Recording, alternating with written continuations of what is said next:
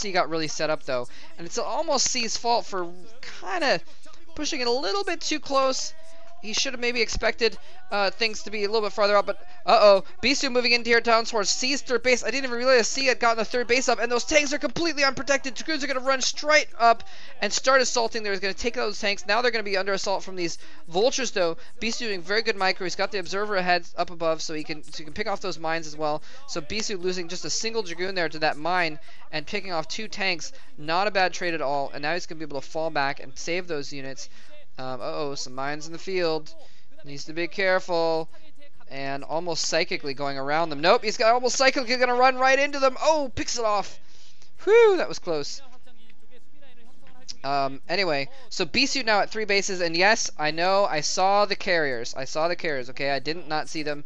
Bisu is switching over to carriers now. I guess he figured he took out so much, I mean, he took out so many forces in that first attack that he can now afford to uh, build carriers and, and forces at the same time and really just catch Sea. Uh, Sea's having to play catch up basically right now because he lost his entire army. He's going to have to play defensively. He did manage to get that third base up though while he was attacking, so nicely done on Sea's part.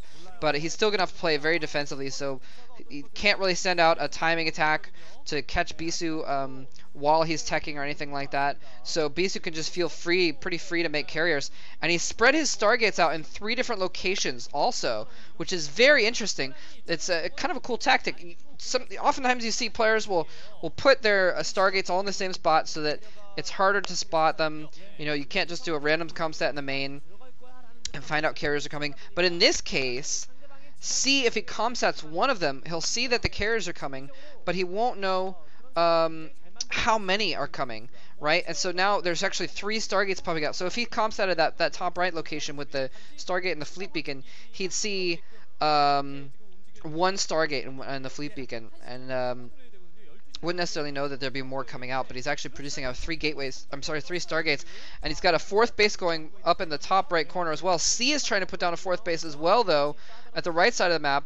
Bisu is looking to put together a fifth base. He's running these zealots to, to clear out mines so he can take out, uh, uh, so he can uh, build that fifth base on the left side of the map. So both players going heavy, heavy macro here. There's going to be tons and tons of forces being thrown at each other for the rest of this map uh, matchup. Um, Vulture's coming in to try and take out this, this fledgling base at the top right. The Nexus is about to warp in, but the cannons are not going to be enough against that many Vultures. He's going to pick off a few probes here, and oh, with the Dragoons to come in for backup. Uh, he is going to drive them off, but uh, probes get called back mid-transfer. Uh-oh, whoa, those vultures, I gotta be a little bit worried there. And there's the carriers, the carriers get revealed. He's revealing the carriers already to take out these uh, vultures which I find very interesting. I would have thought that he wanted to wait longer, although maybe he knows he's been comstatted. And why does he have that floating starport there? It's really interesting. Um, I mean, he's not using the starport, I guess, right now, but might as well float it out somewhere and... I don't know. Well, I guess it makes sense to get out of the way. Uh, anyway, is now coming in here and assaulting this new um, uh, sort of uh, wall the Great Wall of, of Mech that's been set up by Sea over here. He, has definitely knows that the carriers are coming. He's got Goliath in play. He's got turrets. He's got this wall going on, so he knows these are coming.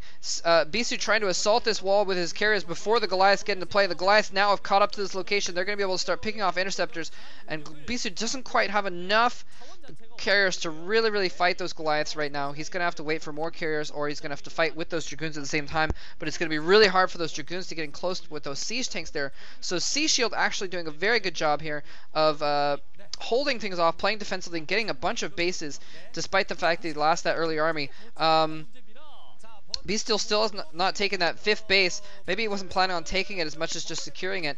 And um, uh, but in any case, they're doing pretty even about uh, on their economies right now. Sea Shield is really holding up remarkably well, but Bisu going in for a major attack here. Tons of Zealots coming in. They're having to deal with this depot wall. Few do get through, barely, but they get picked off as soon as they get in near the tanks.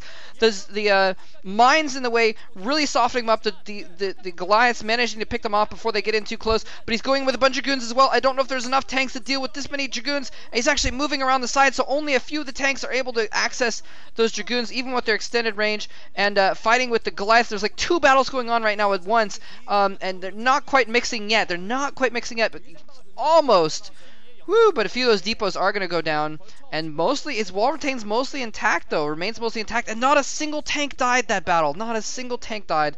Maybe one or two, but I didn't see many tanks die. So Sea Shield really coming out ahead in that battle there. Here's now, now he's going in, he's picking off those tanks with the uh, with the carriers.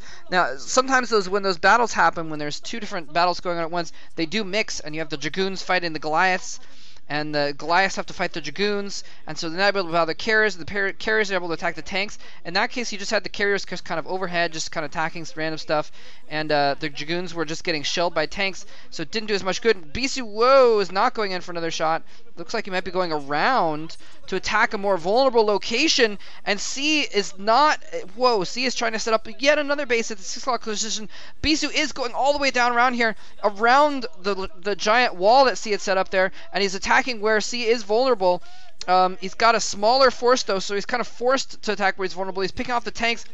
Looks like it might be just trying to pick off a couple tanks here, so his ground units can get in a little bit closer and uh, and do more damage. But he's a lot of his units are getting stuck on that bridge and not really going to full effect there. He's just kind of the unit, ground units were just kind of distractions. And whoa, Sea snuck a few tanks up here. He's killing all kinds of stuff. He's killing massive amounts of probes. Look at that, three kills on each of those tanks. Um, is what it looks like. So he's killed uh, at least a dozen probes now, and Bisu doing nothing about it. Finally, get him Dragoons, Dragoons over there. Um, wow, so we have Bisu. Bisu is actually very far behind right now. He's gonna, if he especially if he loses his base, he's gonna be in such huge trouble. Mines coming in here. Vulture's coming in mines. There comes the carriers back. They're gonna pick off these tanks. It looks like he may save this Nexus. The Nexus is not quite in the in the burning yet, so it's gonna be okay. But he lost all those probes there, and now uh, Sea with a nice little chunk of Goliath and a single take moving out into the middle of the map to try and engage there. Bisu's transferring more probes over there. It looks like they're going to get caught in the middle. Bisu now having to kind of engage where he didn't really want to, trying to fight off these Goliaths. He's got a lot of carriers now, though, a lot of interceptors, and Sea only has about one control group of uh, Goliaths. He seizes up a little bit late, not able to kill those Dragoons off too early, so they are going to get in close and get a few hits off. More Goliaths coming from behind, though, and another tank as well. Um, but Bisu is just not just doesn't quite have the carrier count to really, really um, be winning these battles here against these Goliaths. And he's always so close to losing a couple carriers. Needs to be careful. Needs to be careful. A couple shots going off on those carriers. Ooh, he's falling back, and he's still barely, barely holding on to this Nexus over here. Goliath's moving in to try and chase down those carriers. I think Sea smells blood in the water, and he's going after those carriers that are low on hit points. Look at that, only a few hits left on that on that carrier. No shields left on it. Oh, and he's firing. Oh, he gets the carrier. Oh, Bisu a little bit sloppy. Thought he had that battle won and just A moved that Goliath, stopped microing, let the Goliath get too close, and the Goliath did pick off